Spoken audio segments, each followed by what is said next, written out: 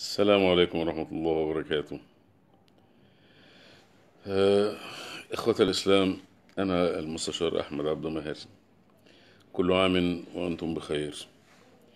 كل عام وأنتم في سلام وأمان. بمناسبة العام الهجري الجديد.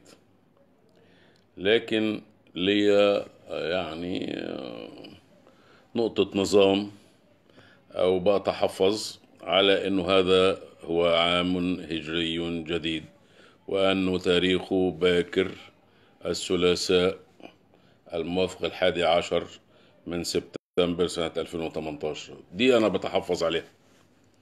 وبأرجو من الإخوة الأزاهرة والمسؤولين في الأزهر وفي الأرصاد الجوية أنه يعلموا أنه الشمس هي المسؤولة عن الصيف والشتاء وبما أن عندكم أنتوا بقى في. في التقويم القمري حاجة اسمها ربيع أول وربيع ثاني وجمادة الأولى وجمادة الآخرة يبقى لازم تروحوا للشمس علشان تعملوا تقويم إيه معنى كلمة تقويم؟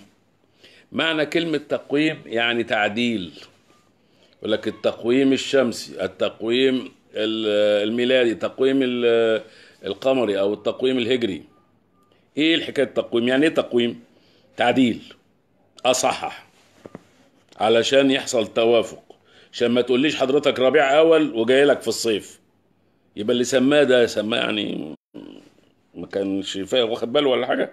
إذا كان ربنا سبحانه وتعالى بيقول إن عدة الشهور عند الله اثنى عشر شهرا يوم خلق السماوات والأرض مش قبل انت ما تدخل قبل كل البشر ما منها أربعة حرم قبل الإسلام ما يجي.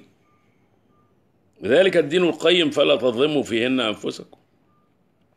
يبقى إذا لازم يبقى في علاقة بين التقويم الشمسي والتقويم القمري. هذه العلاقة عدم وجود هذه العلاقة أدى لإيه؟ أدى إنك أنت تحج مرة في يناير وتحج مرة في يوليا أدى إنك أنت تصوم بتصوم رمضان في غير وقت رمضان. بتحتفل بليلة القدر في غير ليلة القدر. بتحتفل بالعيد الكبير في غير العيد الكبير. إذا لابد إن نشوف الحكاية دي. طب واحد هيقول اثبت لي إنه الكلام ده غلط اللي إحنا بنعمله. أقول لك أثبت لك. مش العام القمري أو العام الهجري يقل 11 يوم عن العام الميلادي؟ أيوه. اذا كل 32 شهر العام الهجري بيسبق بشهر وكل 32 سنة العام الهجري يسبق بسنة. وكل 300 سنة العام الهجري يسبق بتسع سنين. لقوله تعالى ولبثوا في كفهم ثلاثمائة سنين وازدادوا تسعة إذا يا جماعة يا بتوع التقويم القمري يا بتوع التقويم الهجري لازم يحصل تقويم. تقويم يعني تعديل. علشان خاطر رمضان يجي في رمضان والعيد يجي في العيد والحج يجي في الحج وتبقى كده المعاملة مظبوطة. عشان ما تقوليش ربيع أول جاي لك في الصيف وجاي لك في الشتاء. ويبقى لازم نعرف إنه تقويم يعني تعديل والتعديل مش حرام. ربنا لما اتكلم في إن النسيء حرام اتكلم على قوم بيحلونه عاما ويحرمونه عاما ليواطئوا عدة ما حرم الله عشان يحاربوا ولا يصطادوا ولا ولا ولا. لكن إحنا هنا حاجة تانية. ده نسيء حلال. ده اسمه تقويم. يبقى اذا ما ينفعش تقول لي إنه إحنا دلوقتي 1439 هجرية و2018 ميلادية. طيب ما هو لما تقعد تنقص كل سنة 11 يوم هيجي يوم هيبقوا الاثنين زي بعض. يعني مثلا نقول سنة 7000 وسنة 7000 يطلع هجرة الرسول من مكة للمدينة يوم ما اتولد سيدنا عيسى. وبعدين بقى بعد كام سنة كمان تقوم العام الهجري يسبق. فلما العام الهجري يسبق يحصل إيه؟ يحصل إنه إنه الرسول عليه الصلاة والسلام هاجر هاجر آه، من مكة إلى المدينة قبل سيدنا عيسى ما يتولد. ويطلع سيدنا عيسى هو خاتم النبيين. بناء على الكلام اللي أنتم قاعدين بت- بتقولوه ده الطريقة اللي أنتم ماشيين بيها.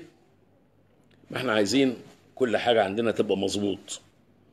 ف وطبعا إحنا في دولة المؤسسات ما ينفعش واحد زيي يقول تصحيح كده إحنا عايزين نصحح التقويم فينصححه أو إحنا عايزين نصحح حكاية الرسم العثماني دي غلط يقوم نصححه أو يقول انه ده ما فيش عذاب في القبر يقوم نصححه. لا طبعا. لابد للمؤسسة أن تقوم بدورها مؤسسة المنوط بها الأمر أن تقوم بدورها. وهنا أنا شايف إن إخواتي وحبايبي اللي في الأزهر ما بيقوموش بدورهم خالص. بتاتا.